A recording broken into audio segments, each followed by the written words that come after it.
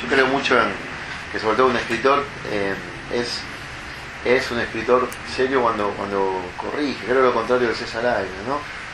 Que, que uno tiene que mantener lo máximo posible fuera de publicar lo que tiene, resguardarse lo máximo posible, ¿no?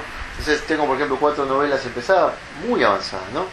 Y esta que estoy escribiendo ahora, Los Ángeles también deben morir, todas con su título, con más de 100 páginas escritas, pero con todo, con todo el perfil de los personajes que yo escribo, con todo el, desarrollo que yo escribo.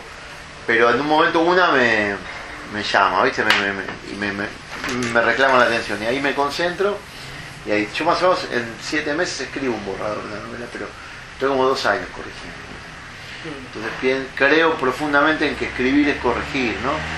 En una dinámica con el espíritu de uno, con, con, como un trabajo espiritual, ¿no? Como un texto que leo y, después de ciertas cosas y de ciertas cosas que van pasando en mi vida, va, entrando en sintonía mucho, yo mido mucho los textos con mi vida y con mi evolución, cómo, cómo estoy yo y, porque corrijo y me transformo, ¿no? Es como una, verdaderamente es un trabajo espiritual. Y eso vuelve, o sea, uno corrige personas, no corrige texto, eso es claro. Uno se corrige corrigiendo un texto. Lo decía Santa Teresa, ¿no? Las palabras llevan a las acciones, alistan el alma, la ordenan y la mueven hacia la ternura, ¿no? Hace 500 años que dijo eso. Las palabras llevan a las acciones, alistan el alma, la ordenan y la mueven hacia la ternura. 500 años antes de Lacan eh, ya tenía claro que el relato de la cosa es lo que, lo que organiza y lo que realmente es la cosa nueva. ¿no?